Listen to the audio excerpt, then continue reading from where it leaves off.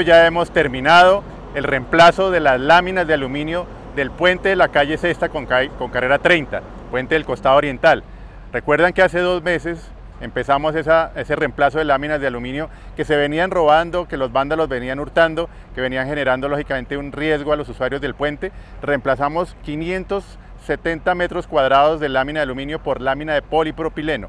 Esta es una lámina que lógicamente no es comerciable, no se la van a robar, tiene una buena durabilidad, esperamos que dure casi 40 años porque además se puede usar por dos lados.